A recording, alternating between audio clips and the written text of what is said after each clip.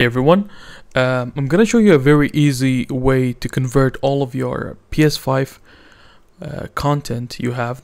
Let's say you recorded a video clip on your PS5 and once you bring it in, let's say a Premiere or any other editing software, you'll notice that the video looks very off.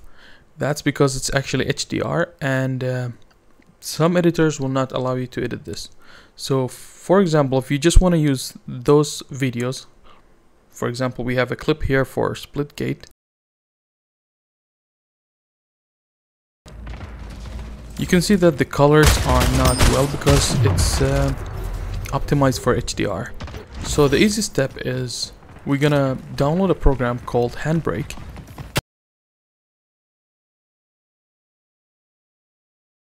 I'm gonna leave the link in the description. So this is Handbrake. It's a free source, open source uh, transcoder. So what you're going to do is download Handbrake and then launch Handbrake. Let's close this and okay. So let's open our files. Let's play. Let's open the Splitgate file. And what you need to do is usually I use this preset to get the maximum out of my uh, videos because I want most of my videos that comes out of the PS5 in 4K. I want to keep that. So I'm gonna go to web, Vimeo, YouTube, high quality. I'm gonna go for 4K, this one. Click on it.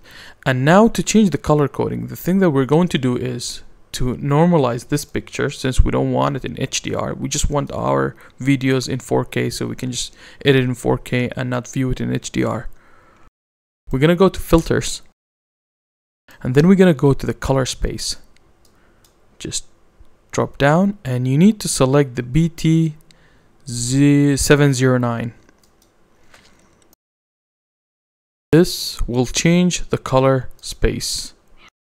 So let's start encoding.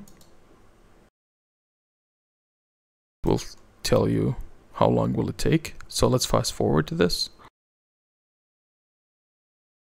okay now 100% it's done Okay, it will tell you it's finished. So let's go and take a look at the video that we made. Okay, so it's this one. Let's click on it.